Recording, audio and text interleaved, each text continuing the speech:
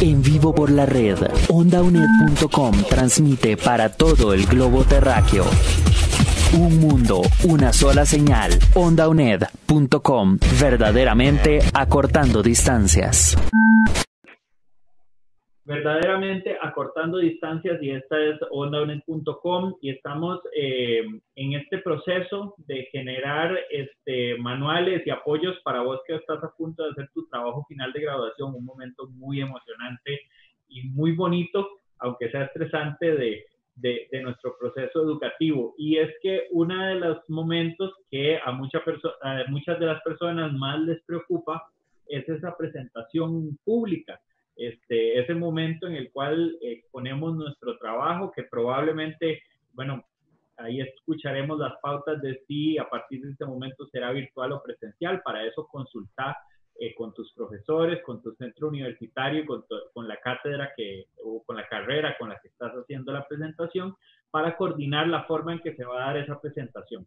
Pero bueno, para dar las pautas generales de cómo ocurre esa presentación dentro de la UNED, y siendo parte de la Escuela de Ciencias Sociales y Humanidades, vamos a contactar con Fernando Ramírez, quien nos va a estar explicando este, pues, cómo funciona esto de la presentación y cuáles son esos tips para que a la hora de presentarte lo hagas de la mejor manera. Así que adelante, Fernando, y para que apoyemos a los estudiantes para que les vaya súper bien en esa presentación. Perfecto, muchísimas gracias Sebastián. Eh, sí, algunas de las pautas que hay que ir teniendo para cualquier tipo de exposición de trabajo final, creo que es válido en este momento retomar que tenemos muchos escenarios interesantes. Tenemos tanto el escenario de lo que es la parte virtual y la parte presencial. Dependiendo de la situación en la que estemos ahora, ¿verdad? Vamos a, a tener que buscar cuál va a ser la modalidad que más se adecue a lo que nosotros vamos a estar viviendo en el momento. El principal pecado que se comete por parte de los estudiantes y algunos docentes ha sido el tener que poner el trabajo final como algo duro de exponer, como ir a defender una idea frente a un grupo de expertos. Aunque sí, el grupo de expertos como tal te va a brindar a vos el, eh, el aval de que sos profesional con respecto a tu investigación, usted tiene que aprender a disfrutar su investigación. Eso es un documento que al final de cuentas usted va a ir a exponer algo que usted investigó. Usted se convierte en un investigador. Al final de la carrera se convierte en experto en un tema que usted desarrolla, le gusta y sale y habla de él, que es la idea. Entonces, para ir avanzando con esto, lo primero que, hemos, que nos hemos encontrado ha sido el miedo de exponer frente al público si nosotros nos visualizamos frente a un grupo gigante de personas, usualmente vamos a sentir como ese nervio, pero es normal sentir nervio. El asunto va a ser cómo afrontar el miedo. Ese miedo a hablar frente al público, ese miedo de cómo hablar en modalidad a distancia, hemos tenido la debilidad tal vez de que no nos exponemos a estar frente al público, frente a docentes, conversando.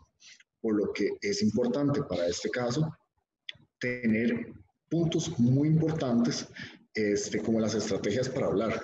¿Cómo ayudamos nosotros a las personas para que pierdan ese miedo? Ok, usted no puede ver a la persona a los ojos, véale la frente. Eso es una de las estrategias que se utilizan. Las personas no se dan cuenta cuando los vengan a la frente. Usted tiene un público grande, haga un tipo de diamante, una figura de diamante, donde se puede centrar la visión en un punto atrás, un punto adelante, un punto a la derecha, un punto a la izquierda o un punto también en el frente, en el medio, donde se puede dirigir la, la mirada y con eso usted puede tener un control de lo que es el público, ya sea que te toque un trabajo final de graduación o hasta en una exposición de ya sea de trabajo o de cualquier otro lugar. Parte de las estrategias que podemos ir tomando también para evitar ese miedo es el practicar. Nosotros debemos de tener prácticas a diario cuando vamos a enfrentarnos a esto.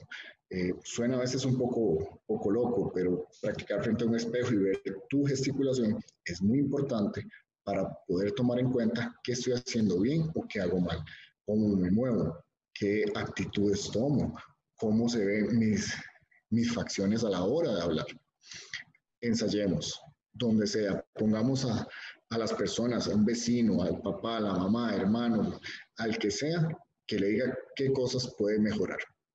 Utilicemos diapositivas para guiarnos.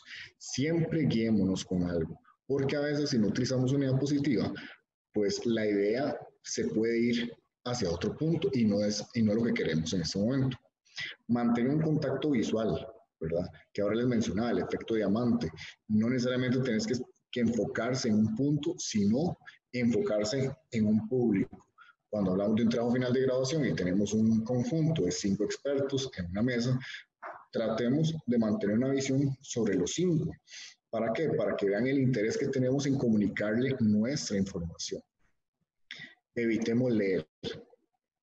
Ese es uno de los principales errores que se cometen cuando una persona va a presentar un proyecto toma su tiempo, agarra y lee. Cuando lee la diapositiva, nosotros sentimos que no hay un análisis, que no hay, que no hay una conexión real de lo que está presentado con las ideas del, del exponente. Cuando una persona va a exponer, utiliza su presentación como un refuerzo para exponer un tema. No es específicamente para leerlo. ¿Por qué? Porque todos vamos a leer y si leemos todos juntos, eso se va a aburrir, va a ser muy aburrido y no es la idea. Nosotros queremos exponer información. Leo textual este punto que le agrego acá. Si te sientes a gusto con lo que haces, esa sensación se va a transmitir al público. ¿Qué quiere decir eso? Que usted tiene que disfrutar el exponer su tesis, tiene que disfrutar lo que está haciendo. Cuando usted toma su proyecto y transforma toda esa información en conocimiento, en un poco de, meterlo a las personas dentro de ese proyecto, usted lo va a disfrutar. Por ende, los que estén ahí van a, entender eso y van a sentirse motivados también a hacer preguntas, a poder comentar, a preguntarte, hey, eh, ¿y cómo lo hizo? En lugar de ser un ataque, va a ser un cómo lo hizo porque está interesante. Cuando ustedes muestran que les gusta lo que están haciendo, cualquier persona va a tomar en cuenta eso para mejorar.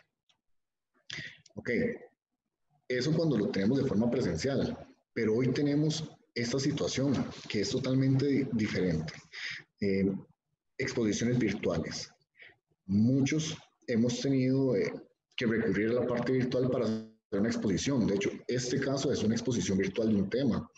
¿Cómo nosotros debemos de presentarnos ante una exposición virtual, debemos de tener un ambiente adecuado, estar cómodo, no, no podemos estar en un lugar que nos sintamos hasta incómodos. ¿Por qué? Porque si no vamos a transmitir la información de la forma correcta. Utilicemos una vestimenta adecuada cuando vamos a hacer una exposición, más si es un caso de un trabajo final de grabación que es, requiere toda la formalidad del caso. Una vestimenta adecuada, sentirnos cómodos, que haya un sonido ambiente adecuado para que no haya interrupción, que cuando estemos hablando no suene de fondo el vecino cortando zacate, sino que, que realmente usted se escuche, que no se escuche el vecino de la par que está arreglando el techo, que no haya un apagonazo.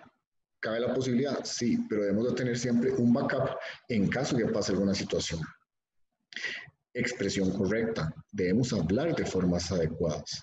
Debemos de darnos a entender, debemos de gesticular de forma correcta para poder transmitir la información. Cuando nosotros vamos a tener una exposición del tema que sea o de un proyecto final, debemos de tener una expresión adecuada para transmitir la seguridad que nosotros tenemos. ¿Okay? Y si estamos seguros, si estamos disfrutando del contexto, vamos a poder ir más allá y generar un análisis y una transmisión de información adecuada con respecto a lo que nosotros estamos exponiendo. Y por último, gesticulemos bien. Tratemos de estar enfocados en un punto, tratemos de enfocarnos en ver como si las otras personas nos las tuviéramos de frente, que eso es muy importante. Hacer sentir a la persona que estamos frente a frente, porque la parte virtual eh, tiene ese problema de que nosotros a veces sentimos que estamos hablando solos frente a una máquina y no es así. Tenemos personas del otro lado que también nos están viendo. Por ende debemos de tener esos cuidados para poder conversar.